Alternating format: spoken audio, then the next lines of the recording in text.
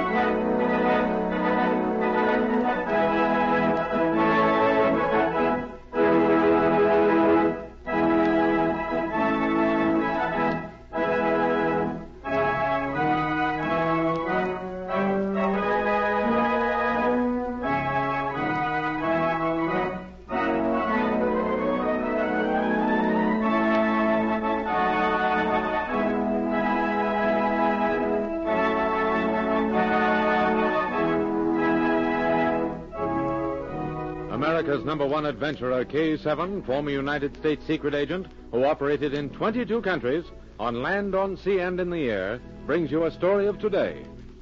We take you to Secret Agent K7's headquarters.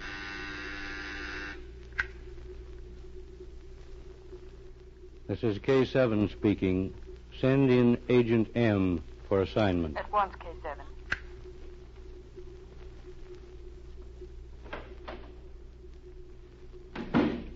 Special Agent M, reporting for duty. Agent M, during the past year, there have been countless attempts to overthrow this government and make this country a protectorate of one of the aggressor nations. Attempts have been made on the life of the king. Within recent months, certain leading statesmen have died, apparently by their own hand. Now it is charged that these deaths have all been political murders. Tonight you are to interview the man who is responsible for our being here, a certain high-ranking government official. A car will call for you at nine. Act with the utmost secrecy. Keep me informed.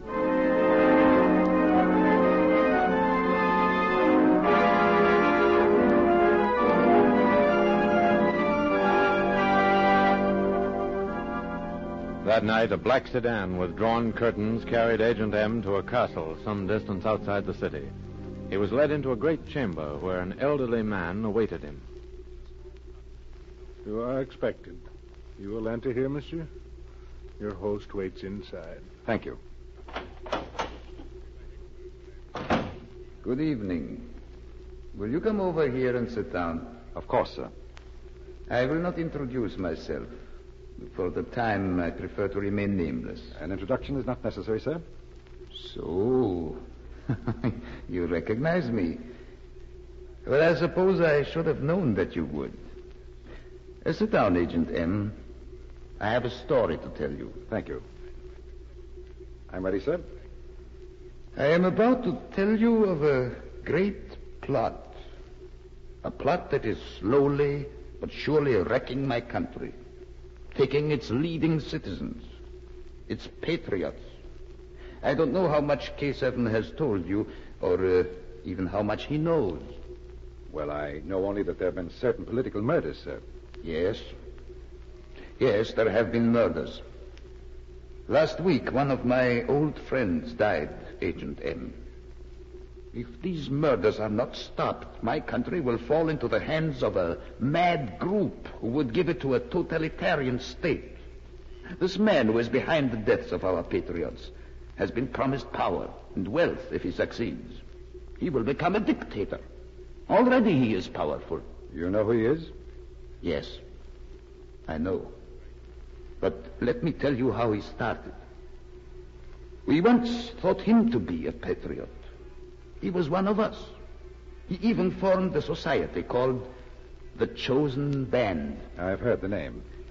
The Chosen Band was formed to preserve our nation, our way of living. Each man who joined was told that belonging would be dangerous, that we might even have to give our lives for our country. You, uh, you are a member of the group? Yes, I joined. All of my friends joined. We believed we acted for our country. We were ready to face danger, and we signed letters. What kind of letters? Uh, here is a copy of the one I signed. I have made this from memory.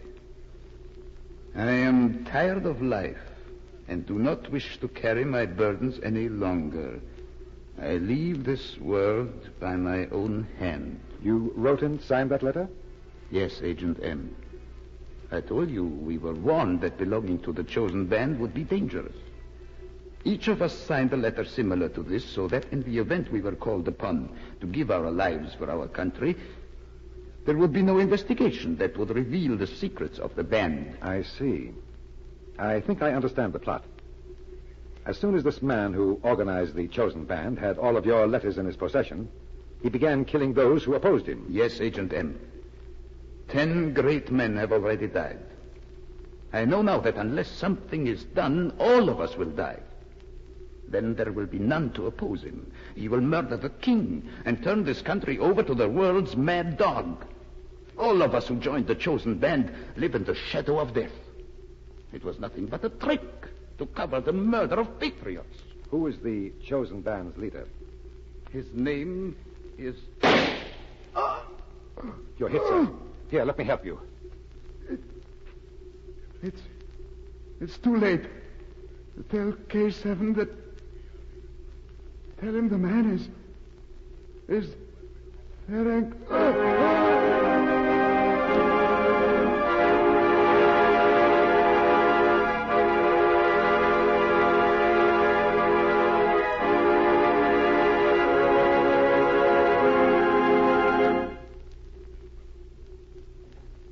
Agent M returned to his rooms a little after midnight. By that time, the morning papers had already printed an account of the old banker's death. And despite the fact that he had died before M's eyes, it was claimed he had taken his own life. A few minutes later, Ivan entered. Ivan, did you follow my instructions? Yes, M. I followed the car that took you to the old castle. While you were inside, I looked the grounds over carefully. Did you see the murderer? Yes, I saw him as he was running away. Oh, if we could only gotten to him in time. I was sure that sooner or later they would find out that we were here. But I didn't expect that they would strike tonight. I only ordered you to follow me because I wanted to establish a guard around the old man. Would you recognize the man who shot if you saw him? Yes. Wait, Em, let me finish. I succeeded in following the man when he left the grounds. Then you know where he went. He reported to Ferenc Mirsch. Ferenc Mirsch. Ivan, you've discovered the key to this plot. Mirsch. That's the man. You've heard of him, Em. Yes, Ivan. The old banker died as he was trying to tell me that name. His last words were, Tell K7 the man is Ferenc. And he stopped there without ever giving me the last name. Do you know where Mirsch is now? Yes, he's at home, Em. The man who shot the old banker reported to him and left. And a short time later, Mirsch retired. When I left, his home was in darkness. Take me there, Ivan. We're going to call on him tonight.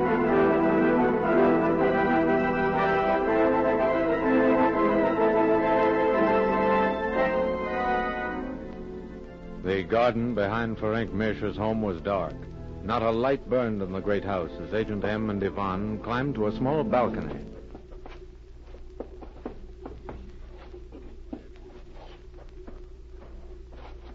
Let me have your hand, Ivan. Now, careful.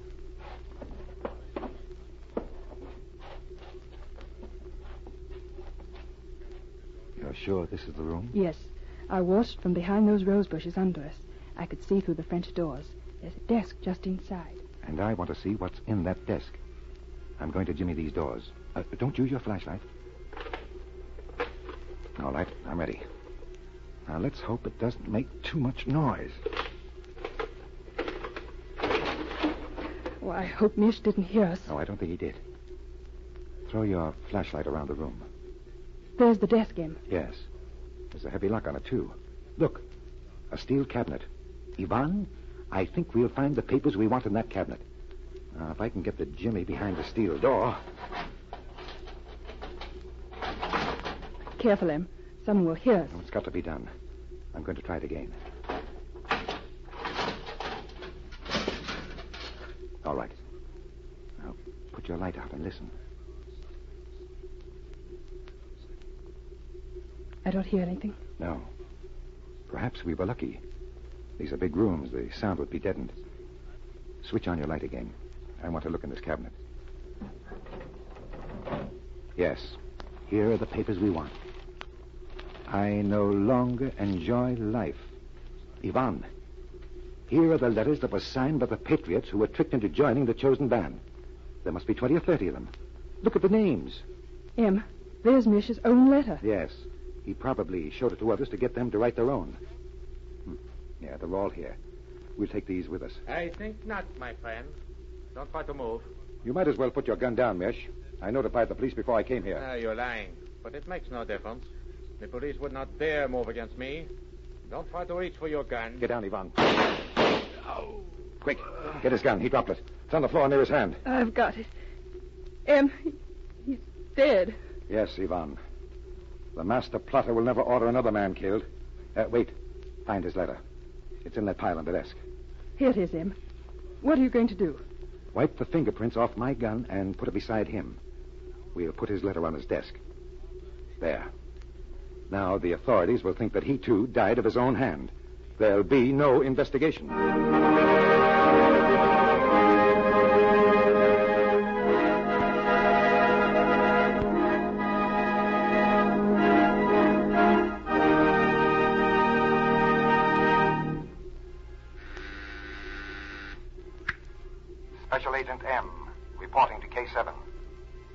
Man behind the political murders is dead. According to newspaper reports, he died of his own hand. His name was Ferenc Mirsch.